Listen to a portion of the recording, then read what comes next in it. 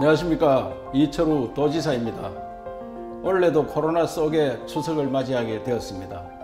대목 경기도 없고 명절 분위기도 나지 않아 추석이 추석 같지가 않습니다.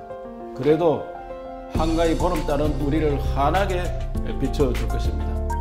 가족, 친지와 함께 하지 못하더라도 전화로, 문자로 서로를 챙기는 행복하고 따뜻한 명절이 되었으면 좋겠습니다. 우리에게는 어려울 때일수록 언제나 앞장서고 모두가 하나 되어 위기를 극복해온 경북의 정신이 있습니다.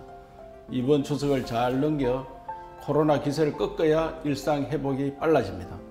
늘 성원해 주시는 출향인 여러분 그리고 도민 여러분 이번 추석에도 우리가 먼저 모범을 보이고 실천합시다. 즐거운 추석 되십시오. 감사합니다.